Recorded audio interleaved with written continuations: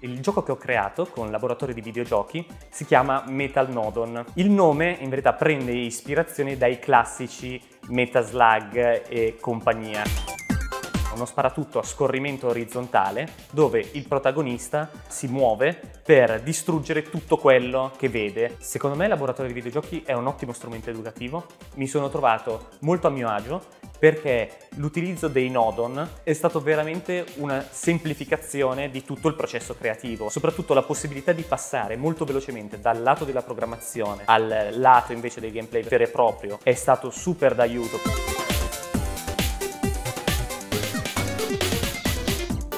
Con Laboratorio di Videogiochi avevamo varie idee che abbiamo esplorato. Alla fine volevamo fare un gioco che usasse eh, i Joy-Con e gli accelerometri e che fosse fortemente basato sulla fisica.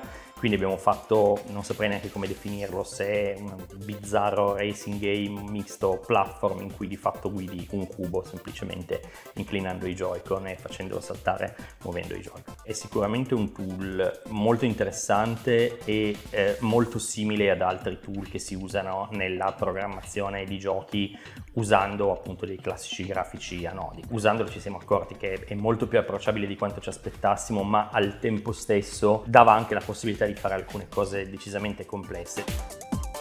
Seguire le lezioni è servito tantissimo eh, perché introducono i concetti in modo molto chiaro di volta in volta, permettendo di fare cose sempre più complicate e poi soprattutto ci siamo resi conto che dai primi esperimenti che abbiamo fatto, che non erano esattamente un granché, al risultato finale c'è stata una grande evoluzione.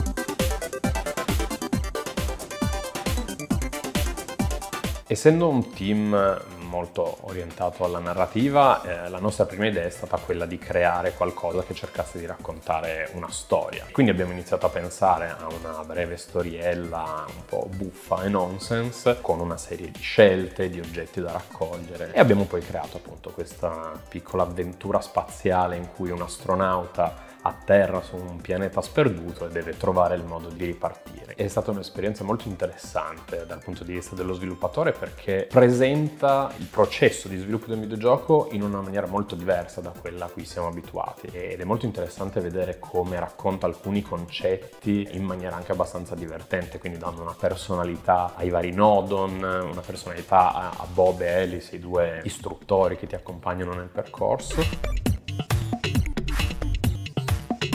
Il gioco che abbiamo creato con Laboratorio è un platform eh, cooperativo nel quale i due giocatori devono muoversi su delle piattaforme, premere dei bottoni per cercare di aiutarsi l'un l'altro e progredire nel, nel, livello. La nostra idea era quella di sfruttare quelle che sono le funzionalità che offre la Nintendo Switch e in questo caso noi abbiamo optato per sfruttare i due Joy-Con da fornire ai due giocatori. La mia esperienza con il laboratorio di videogiochi è stata un crescendo, ho percepito un senso di progressione, se vogliamo, doppio.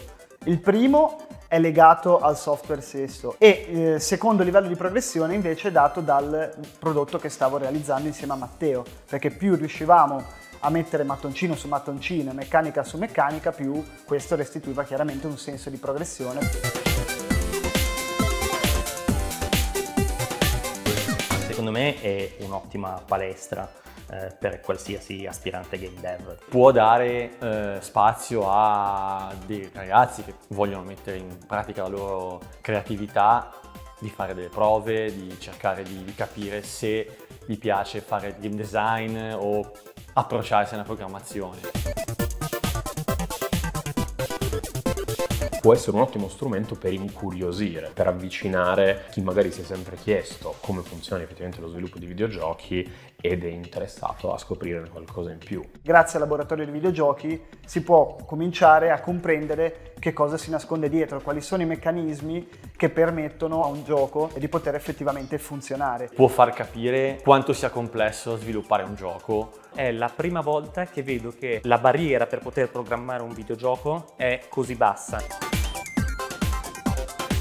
ti dà sempre l'idea di oh posso sperimentare questa cosa, ci metto tre secondi, se sbaglio torno indietro, riprovo. Qua è tutto subito hands on, si, si mette subito le mani in pasta e si va subito a creare qualcosa. Tre consigli per utilizzare il laboratorio di videogiochi al meglio. Partire con un'idea piccola, continuare a iterare e a provarla mentre si programma e farla provare a tutti i propri amici per vedere se è veramente divertente. Seguire le lezioni perché è molto importante seguirle, altrimenti si rischia di perdersi se si inizia così da zero. Sperimentare, cercate di uscire dal seminato, le possibilità offerte dal tool sono tante, quindi non limitatevi ad applicare solo quello che viene spiegato nelle lezioni. Un altro consiglio che darei è sicuramente quello di focalizzarsi sulla parte più logica, quindi di programmazione. È sicuramente interessante esplorare le logiche e il design di come funzionano i vari elementi.